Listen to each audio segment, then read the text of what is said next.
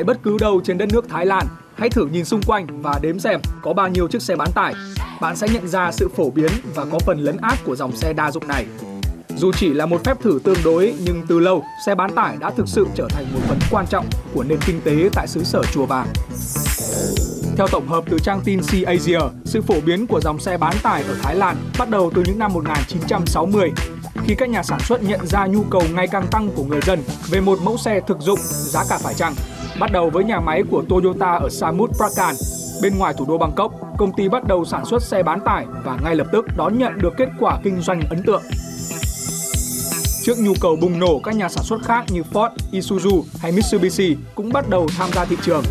Các công ty này liên tục nghiên cứu, phát triển nhằm tạo ra những chiếc ô tô đáp ứng được yêu cầu của người Thái. Liên tục mở rộng sản xuất, không chỉ thúc đẩy ngành công nghiệp ô tô nội địa mà còn cung ứng một lượng lớn xuất khẩu sang các quốc gia trong khu vực.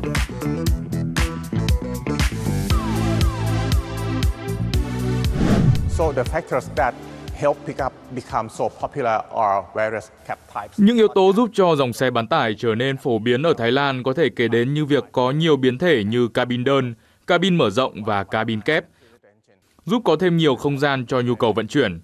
Thứ hai là về động cơ, cụ thể là hai phiên bản động cơ 1.9 lít và 3.0 lít. Tôi muốn nói rằng xe bán tải hiện nay được thiết kế để có thể sẵn sàng đáp ứng đa dạng yêu cầu ở cả phân khúc cao cấp và phổ thông, dành cho cả mục đích thương mại và nhu cầu sử dụng cá nhân. Tại một đất nước nhiệt đới gió mùa, thời tiết chủ yếu là nóng và mưa quanh năm. Chiếc bán tải chứng tỏ được những ưu điểm rõ rệt. Mức giá dễ tiếp cận, dễ dàng bảo trì, bảo dưỡng và phục vụ đa mục đích, chở hàng hóa, chở người, linh hoạt di chuyển cả trong đô thị lẫn địa hình khó với phần gầm cao, thoáng và sức kéo tốt. Nhờ kết cấu tách biệt giữa khoang người lái và khoang chở hàng ở phía sau, giúp tăng khả năng chịu tải, người sử dụng hoàn toàn có thể nâng cấp để vận chuyển những món hàng tải trọng lớn. Đây là dòng xe gắn liền với cuộc sống và công việc làm ăn buôn bán của các tiểu thương tại Thái Lan, trở thành một phương tiện chuyên chở quan trọng trong nền kinh tế. We are a country to make uh, farming Thái Lan có một nền nông nghiệp rất phát triển và đa dạng, do vậy người dân ở nhiều địa phương trên cả nước sử dụng xe bán tải để chuyên chở hàng hóa. Đây cũng là dòng xe chính phục vụ đời sống của người dân. Đi đâu các bạn cũng có thể thấy sự phổ biến của nó. Các mẫu xe sedan, SUV hay MPV sẽ phổ biến hơn ở những thành phố lớn.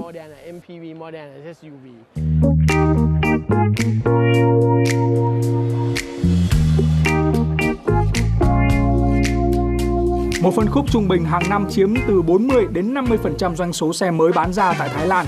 Năm 2023, toàn thị trường ghi nhận kết quả hơn 775.000 xe, trong đó riêng phân khúc bán tải đạt hơn 325.000 xe, tức chiếm khoảng 42% thị phần xe trong nước.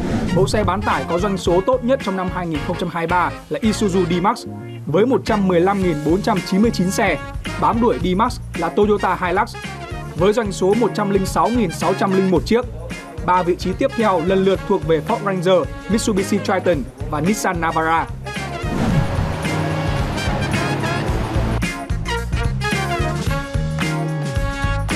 Uh, the criteria is, as I already mentioned, Tôi lựa chọn dòng xe bán tải vì có thể sử dụng đa mục đích. Nó vừa có 4 cửa và 5 chỗ ngồi để tôi có thể chở gia đình, vừa có khả năng chuyên chở tốt với thùng hàng phía sau vì tôi thường xuyên mang theo đồ đạc và hàng hóa. Đặc biệt là tính bền bỉ và sự linh hoạt. Tôi di chuyển trong thành phố là chủ yếu. Bên cạnh đó là về quê cách thủ đô Bangkok khoảng 60 km. Chiếc xe có thể vận hành ở nhiều dạng địa hình khác nhau.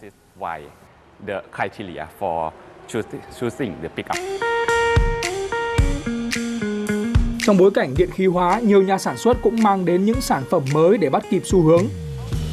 Cho dù việc sử dụng một chiếc xe bán tải điện ở thời điểm hiện nay được các chuyên gia đánh giá là vẫn còn tồn tại nhiều nỗi lo về mức giá, độ bền bỉ, quãng đường di chuyển, hệ thống chạm sạc chưa phổ biến tại các thành phố nhỏ, khu vực ngoại ô. Dù chưa thực sự phù hợp ở thời điểm hiện tại, nhưng những chiếc xe bán tải điện cũng đã mang đến một luồng gió mới ở một phân khúc vốn không có nhiều sự thay đổi tại Thái Lan. Một câu chuyện khác cũng được bàn luận đến rất nhiều khi nói về chủ đề xe bán tải tại Thái Lan, đó là sự trái ngược khi những mẫu xe được người Thái ưa chuộng lại có doanh số không mấy khả quan tại thị trường Việt Nam. Nhu cầu thị hiếu có sự khác biệt rõ rệt. Theo khảo sát thực tế tại nhiều đại lý, khách hàng Việt Nam đa phần cần một chiếc xe bán tải trước hết phải có thiết kế bắt mắt, sự bền bỉ, tiết kiệm hay công năng chở hàng đôi khi chỉ là yếu tố phụ. Với quan điểm tiêu dùng của người Việt Nam thì à, hơi ờ, duy mỹ một chút nghĩa là sẽ mong muốn có một chiếc xe có thể dùng được rất là nhiều nhu cầu cái nhu cầu về mặt à, thẩm mỹ cũng như là mặt thể hiện cái ờ, xe đó nó cần phải được ờ, đẹp đẽ hơn và nó thể hiện được cả cái tôi của những người sở hữu chiếc xe đó nữa. Không chỉ xuất hiện trong mọi ngõ ngách của đời sống hàng ngày, những chiếc xe bán tải còn thể hiện một khía cạnh đặc biệt khác. Đó là ở trên đường đua khốc liệt. Những giải đua dành riêng cho xe bán tải như thế này được tổ chức hàng năm tại Thái Lan, thu hút hàng trăm tay đua trên khắp cả nước và cả trong khu vực Đông Nam Á. Mang đến một sân chơi nơi những chiếc xe được thể hiện hết sức mạnh và kỹ năng của người lái.